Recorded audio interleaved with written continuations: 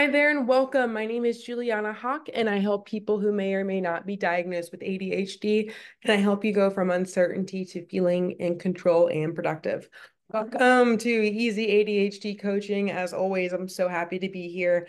And as always, your brain is perfect just the way you are. And, you know, don't compare yourself to other people because, you know, it's not worth comparing apples to oranges like my seventh grade algebra teacher used to say but you're perfect just the way you are. And of course, whatever um, I can do to support you as your ADHD coach, please let me know. Um, you can always schedule a complimentary discovery call on my website to see if we are a good fit working together.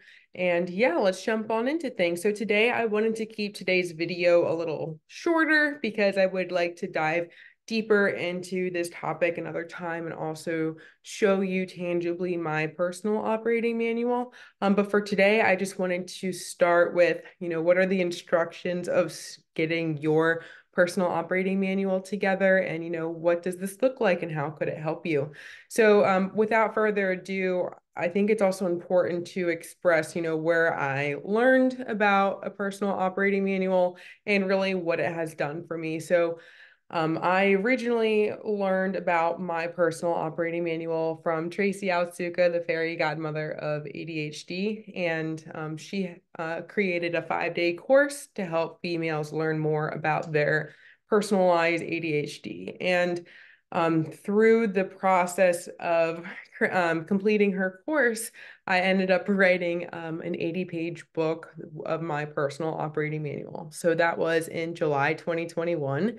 And yes, all 81 pages were my own words. So it was a lot of, you know, in depth information, but also that wasn't included in the 81 pages was the hard research and you know the proven data and things that really helped me from scholarly articles um, that I kept in my manual.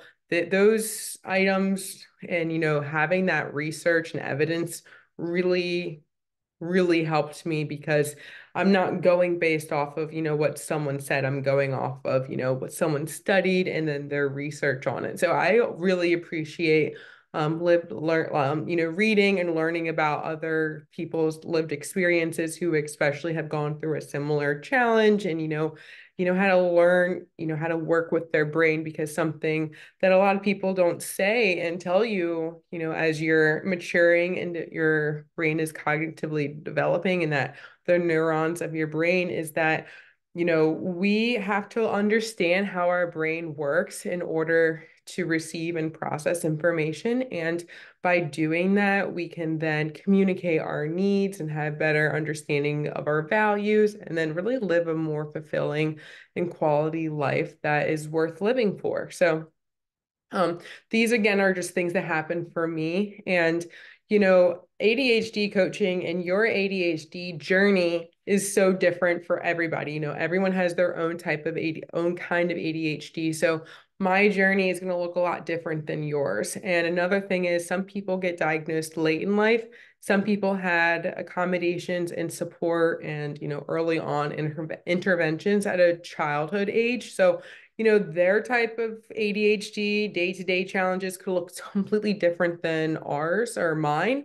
And another thing to keep in touch and uh, just to know is, you know, ADHD is going to show up differently in different stages of our lives because, you know, if when I'm, you know, 18 years old, my brain is still, you know, the prefrontal cortex is still like developing. As I, I develop into a 30 year old, your brain is developed at that point. So at that point, you're learning workaround strategies and coping mechanisms and just learning how you process information.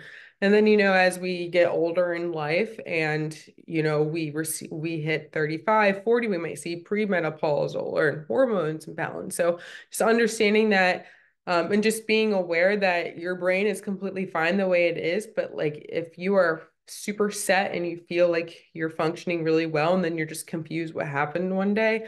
Another thing that can happen uh, like with your day-to-day functionality of being able to complete things another thing to be really aware of that is not discussed is that you know trauma some um and some other disorders or co co-conditions also can show up as ADHD and I want you to know that like when I said interventions and disorders, I'm not saying it from a place of judgment or a place of, you know, you're not enough. It's just, I don't know what other words to say for them. So I just want you to know this is not a place of judgment. I'm just trying to tell a tight story with what I'm saying. Um, okay, because only because sometimes I brought the that up with other people and they just didn't like the way it was said. But sometimes hard words that we don't like is just the easiest way to describe things. So without further ado, I really put a lot of thought into um, you know, how to start creating your personal operating manual. And I would really appreciate if this is just kept to my page because it's not trademarked just yet. Um, but so without further ado, let's jump on into things. So, as I kind of already started saying, is you know, we're all in different phases of our personal transformation, of our self discovery. We all are in different places of our ADHD, and a lot of times, um, learning like we could be diagnosed ADHD, but there are other things going on in our lives that we can't really explain.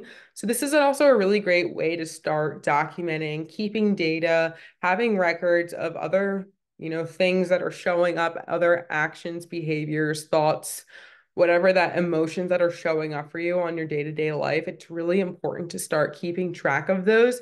And it's only because when you go to see your psychiatrist and they misdiagnose you you have the evidence to state you know this happened at this day. And you can show the inflexibility or you can show a graph of like look i'm telling you like this is not normal and this is how i'm feeling and i need your help um, my best advice is when you're going to a psychiatrist is to have evidence of, you know, that like proven evidence of yourself of these are stats of my ADHD. Um, when I, because when I saw my psychiatrist, there wasn't even a point in like a question, doubt about it. I, I had examples of how my ADHD shows up, and for because right now in the DSM 5, ADHD is broken into three subtypes um, inattentive ADHD, hyperactive ADHD, and um, uh, combined typed. You know, as the DSM-5 in 2024, I really um I really do believe that the DSM-5 is working towards one ADHD because so many of the conditions of inattentiveness and hyperactivity do co coexist and like uh, overlap. So um, I think it's important to even make ADHD one type. Um, Okay, but without for um and that why I feel that way is also because so many times females like science and research shows that females are not getting diagnosed as often as boys and also men. So whether they're a child or later in adult life or you know in adult life and it's just important to recognize that ADHD is real and it's not just existing in in a um, hyperactive boys it's also in a female. And it's important to acknowledge that and also maybe even to accept that. Um, so without further ado this operating manual is for the person who is a working professional high functioning adult looking to start you know keeping stock or you know having stock in their behaviors and actions so let's jump on into things so I I actually am pretty open with telling, you know, people about my focus and my attention deficit. So I um what I'm trying to say is by being able to acknowledge how my brain works, which environments I work well in, um, what interests me, I am much equipped to be attentive in a conversation. I'm much more equipped to remember what was said, be much more able to follow through. So um, I just wanted to share some of these, you know, tips with you guys. Um, and I actually forgot I had uh, to include one of these. Oh, I know. Um, okay, so let's jump on it. So um, I let's start with the, you know, day-to-day -day functions. So for this, I keep record of um, like what are my natural interests what am i naturally interested in what um, motivates me what keeps me interested like can this can be anything from where you are at home to work to outside of just day-to-day life keeping your life balance so whatever interests you whether it is gaming um you know going for a bike ride being in nature you know um, interacting, connecting with people, whatever interests you, keep, um, you know, start keep, uh, keeping data of what interests you because we'll be able to tie this into other areas of our lives. So keeping um, st- um I have a column for my natural interest, my natural strength. So what am I naturally able to do without much mind muscle connection? Like what am I able to do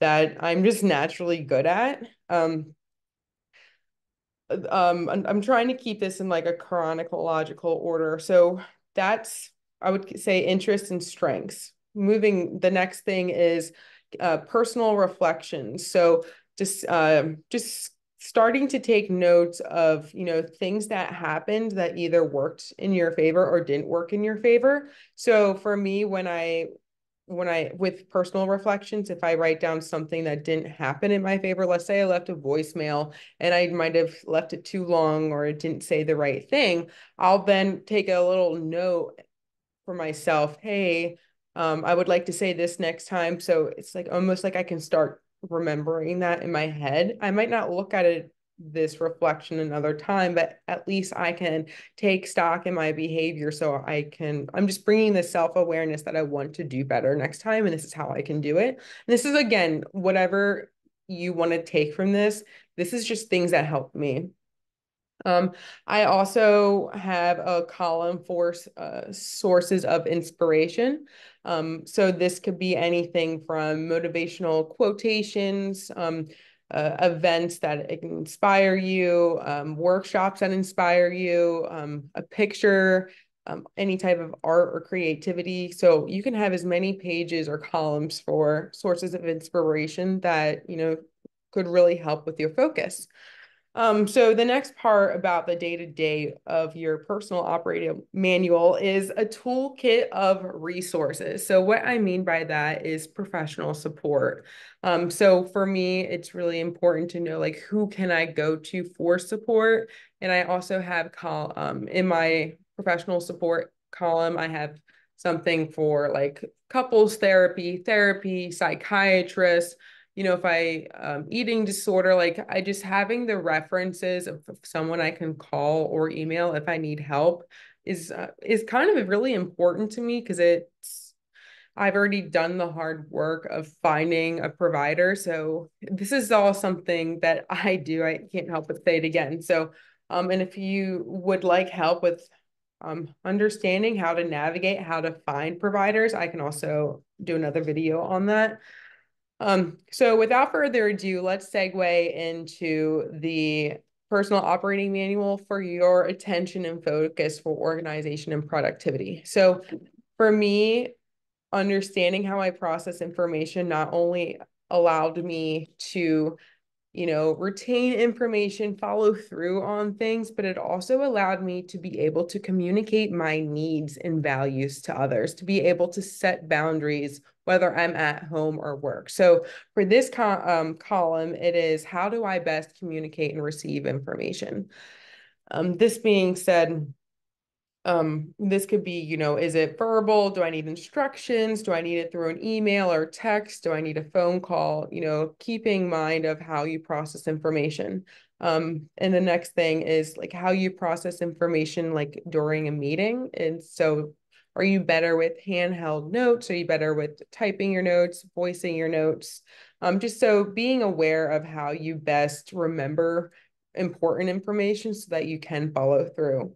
Um, so next thing we're going to work into is um, so igniting your brain. What interests your brain to get you started at work? So this is task activation. So um, here are just a quick, here's a quick glance that of ways that help you get started, whether it's a timer, backwards planning. Again, these are things that are customizable and personalized to you. So even though I'm giving you examples, these are, you need to include things that work for you because what works for me may not work for you. And I cannot preach this enough. And this is why a life coach doesn't work for someone with ADHD. And ADHD, and someone with ADHD, we need to you know have accountability measures that work for us things that we value things that you know are you know connected to why you want to do something. So um, these really have to be personalized to you of what works for you. So um, I want to know, you know, what gets you activated to get your work started? You know, is it having clear instructions, you know, having your favorite music on? I'm curious. Um, so the next thing is your environment for focus. So this is very important because some of us work at home, some of us work in a workplace environment, you know, next to our coworker. So what that means is I want to know exactly what is your workplace setup so that you can focus. So whatever that looks like for you, whether you want to draw it out or have bullet points, I'm here for it. Um, so the next uh, column is help me to take a pause. This is self-regulation and mindfulness. So in moments that you're having a hard time self-regulating, whether, you know, a coworker says something that you disagree with, or you are having a hard time regulating your emotions in the moment, these are just a few quick bullet points that you can refer to that will help you. Hey, this, I need to take a pause and I want to leave this at work. I don't want to take this frustration home with me. Or even if you're someone that's highly sensitive and you want to be able to recover from something that took your energy, this is a great way to start documenting things that can help you shift your perspective. Um, and that being said, my next um, of column is what are ways that you are able to shift your perspective, whether you are at home or work, and you just are having a hard time with the impulsivity of, you know, feeling super focused on something. Um, yeah, so, you know, starting to have records of how you're able to cope with, you know, per um the perspective you are having so you can reframe your perspective to um you know be in a be the person that you want to be so that you can you know live a life that's intentional to you for you. Um okay accommodations at work. So what this means is are you somebody who needs instructions? Or you need some are you someone that needs like a weekly team meeting? I'm not sure. Do you need calendar reminders on your tangible calendar and your computer calendar? I'm not sure but like i'm just curious what do you need in order to be able to get your work done so you can like be satisfied at work. So whatever accommodations look like for you, I'm curious. Um and and also, you know, what we said was how to best communicate, you know, information to not only yourself but your your boss, your coworkers, you know, what are ways that you feel comfortable with doing that so here are just a few a few examples of how i um, you know, you know, start acknowledging and build building the self-awareness muscle of that mind muscle connection of, you know, being aware what's happening in your life in the moment. So um, without further ado, if you are someone who is interested in learning more about how to recognize these, you know, um, what's happening in, in your life, like if you want help with, you know, uncovering and, you know, what direction to take with your daily ADHD challenges, that's a great topic to bring to an individual coaching session. So, whether you're an adult, a working professional, a child, someone who is a young adult, you know, navigating high school to college, if you're a parent who has wants to just focus on your ADHD in addition to learning about your child's ADHD, like these are ways that you can apply this workaround manual to those type of who you are with your ADHD. And again, like your ADHD is perfect just the way it is. And don't let anyone ever tell you that you're not enough, you're not worthy, because they're just not the person for you. Yeah. Contact me and I'll tell you any day that your brain is perfect. Um, so eh, that being said, if you're interested in, you know, working with me, learning more about ADHD coaching, how I can help you, please you know, take the time to look at my website to see how I could help you. Some type of coaching topics are also listed on my uh, website, coaching conversations, things we can get curious on in a coaching conversation together. Um, you can go to my website, easyadhdcoaching.com, and you can book a complimentary discovery call there. And yeah, I can't wait to learn more about you and your ADHD and, you know, take care. If you guys do end up creating a personal operating manual and would like to learn more about how I organize this and would like to see my book and my actual tangible workaround manual, I'm happy to do that. I'll, I'll do another recording, but I wanted to at least get this to you guys, the general public, so you guys could start, you know, you know, keeping record of your ADHD. So you guys are doing great. Keep up the good work and I'll talk with you guys soon. Bye-bye.